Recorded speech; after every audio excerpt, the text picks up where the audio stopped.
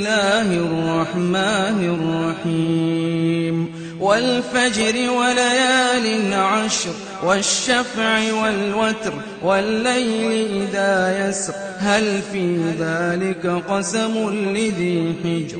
ألم تر كيف فعل ربك بعاد؟ إرم ذات العماد التي لم يخلق مثلها في البلاد. বিসমিল্লাহির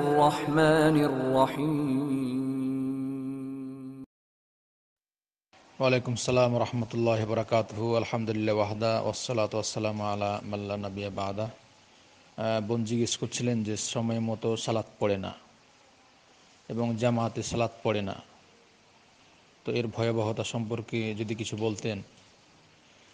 যে সময়তে বোন মহান আল্লাহ বলেন, ইন্না সলা কিতাব সালাদ যেটা পড়া হয় সালাদ নির্দিষ্ট পড়ার জন্য আয়তে বলা হচ্ছে যে, মুসলমান, মমিন ব্যক্তি যারা, তারা নির্দিষ্ট সময় সালাত আদায় করবে। প্রত্যেকটা জিনিসের একটা নির্দিষ্ট সময় আছে।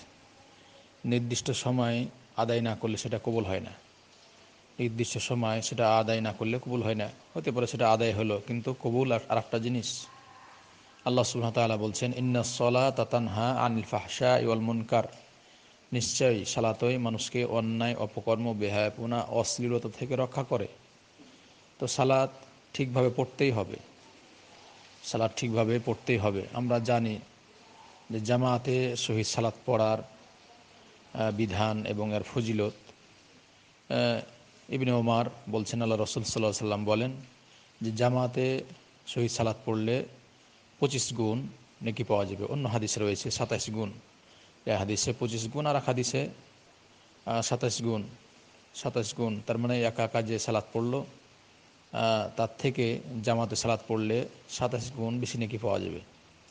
আপনার দুনিয়ার জীবনে সময় এমনিতেই অতিবাহিত করি, কিন্তু আপনার ক্ষণস্থায়ী জীবন, ষাট থেকে সত্তর বছর জীবন, এর ভিতরে হঠাৎ করে মৃত্যুবরণ করতে হবে, এটাই ঠিক? মানুষ দুনিয়াতে কেউ চিরদিন বাঁচতে পারবে না। আজকে মনে হয় ভালো আছেন, হঠাৎ করে অসুখ হলেই আপনার সব শেষ। অসুখ যখন আপনাকে হয়ে যাচ্ছে, আপনি তখন লড়তে পারেন না, আপনার কোনো কাজকর্ম করতে, কিছু করতে পারেন না। এই জন্য যদি সুস্থ কেউ থাকে, সুস্থ সময় যদি এবাদত বন্দিগুলা ঠিকভাবে আদায় করে, তাহলে অসুস্থ হয়ে গেলেও সে পরে যদি ঠিকভাবে আদায় না করতে পারে, তাহলে তাহলে নেকি পাবে? তার মানে আপনি যেমন বাড়িতে আছেন, জামাতে সালাত পড়ছেন। এখন আপনি সফরে গেছেন। সফরের কারণে জামাতে সালাত আর পড়তে পারেননি। তাই আপনি কিন্তু নেকিতে পেয়ে যাবেন। সুস্থ ছিলেন, আপনি ইবাদত বন্দিকে ঠিকভাবে আদায় করতেন, অসুখ হয়ে গেছেন, আর অসুখের কারণে আপনি আদায় করতে পারছেন না। আপনি নেকি পাবেন? এগুলো সই হাদিস সই হাদিস। এগুলো প্রমাণিত। তাই আপনাকে সালাদ ক্ষেত্রে অলসতা করা যাবে না। সালাদ পড়েও মানুষ জাহান নামে যাবে। আল্লাহ বলছেন, ফাওয়াইলুল লিল মুসল্লিন ওয়ুকলাম ওয়ুল নামক যে জাহান্নামের কথা বলা হয়েছে, যারা সালাত পড়ে, অলসুদা করে, তাদেরকে জাহান্নামে দেওয়া হবে। তার মানে আদায়, সালাত আদায় করেও জাহান্নামে।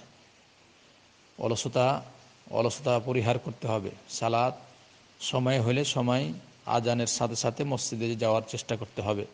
আয়সা রদুল্লাহ তাল আনহা বলছেন, যে আল্লাহ রসুল সাল্লাহ সাল্লাম আমাদেরকে কাজে সহযোগিতা করতেন বাড়ির কাজ কর্মে সহযোগিতা করতেন। যখন আজান হয়ে যেত, তিনি মসজিদে চলে যেতেন। তাই আজানের সাথে সাথে আপনার আমার উচিত, যারা ছেলে মানুষ, পুরুষ মানুষ এরা মসজিদে যাবে। আর মা বোন যারা আছে, ওরা সময় মতো সালাদটা আদায় করবে, সময় মতো বাড়িতে আজান দিবে। সে যেভাবে সালাদ জামাতে হয়, ওদের সময়গুলো বুঝে ঠিকভাবে তারাও সালাত আদায় করবে। তারাও গাফিলাতে করবে না। মনে করবে যে আমরা বাড়িতে আছি, তাই ঠিকভাবে জিনা, আপনাকেও ঠিকভাবে সালাত আদায় করতে হবে। এ মর্মে ইবনে আব্বাস বলছেন, আল্লাহ রসুল সাল্লাহ সাল্লাম বলেন যে ব্যক্তি মানসামিয়া নিদা ফালাম ইউজিব ইউজিবহু ফালা সালাতাহুল্লা ফালা সালাতালাহু ইল্লামিন অদরিন যে ব্যক্তি আজানের ডাক শুনলো, অথচ আজানের ডাকে সাড়া দিল না, তারা সালাত হবে না। তবে তার যদি কোনো অজুর থাকে, যদি অসুস্থ বা কোনো সমস্যার কারণে সেটা ভিন্ন কথা। কিন্তু ইচ্ছা করে মসজিদে যাবে না যারা পুরুষ, এদের সালাত হবে না। ইমাম দারা পত্নী রাহেমাল্লাহ হাদিসটি নিয়েছেন, সহি হাদিস। তাই বিষয়গুলা যে জামাতে সহি যেতেই হবে পুরুষ মানুষকে আর মা বোন যারা আছে, বাড়িতে ঠিক সময় সময় মতো আদায় আদায় করলেও তারা যে জামাতে পড়ে যে নাকি পাবে, ওরাও পাবে। মানে সময় মতো সালাত আদায় করতে হবে।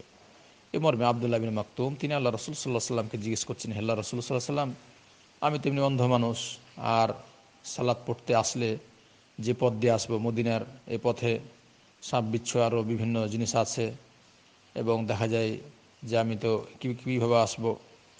তা আল্লাহ রসুল সাল্লাহ সাল্লাম বললেন যে, তুমি কি আজানের ডাক শুনতে পাও? বললেন হ্যাঁ আজানের ডাক শুনতে পাই। তাহলে যদি শুনতে পাও, তোমাকে আশা লাগবে। তোমাকে আশা লাগবে। যদি তাই হয়, অন্ধ মানুষকে যদি যেতে হয়, তাহলে আপনি, আমি কোথায়? আপনার শরীর ভালো আছে, সুস্থ আছেন? সুঠাম দেহের অধিকারী ইয়ং ম্যান আপনার স্ট্রং বডি বডি শক্তি আছে, ভালো আছেন আপনি? তাহলে আপনার কাজ করতে হবে। ঠিকভাবে, তাহলে তো আপনি নাকি পাবেন। এমনি তার জান্নাত পেতে হলে কষ্ট করা লাগবে। যে কোনো জিনিস ভালো কিছু পেতে হলে কষ্ট করা লাগবে।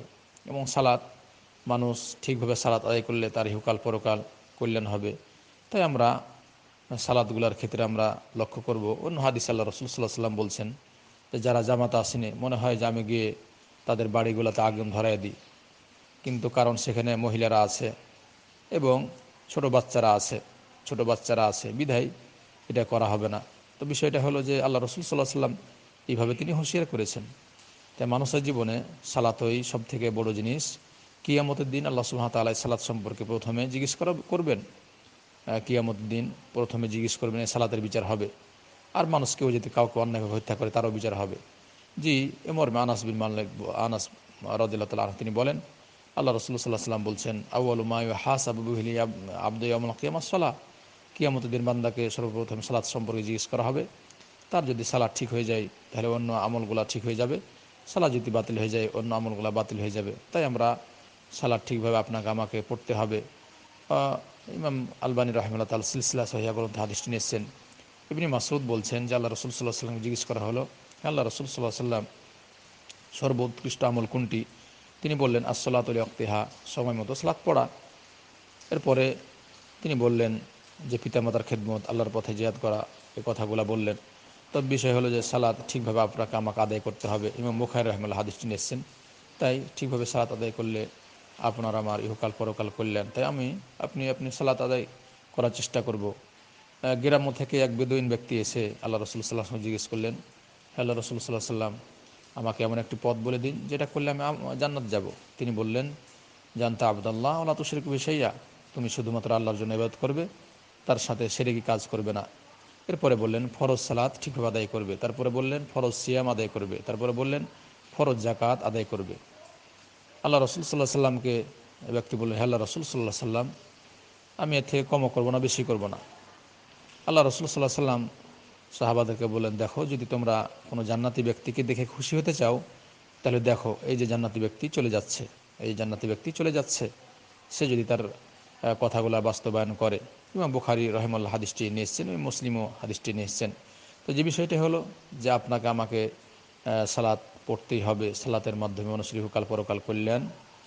তাই যারা আমরা পুরুষ মানুষ, তারা মসজিদে যাব বাচ্চা, ছোট বাচ্চা থাকলে ছেলে বাচ্চা, সাত বছর বয়স হলে তাকেও সাথে নিয়ে যেয়ে প্র্যাকটিস করাবো।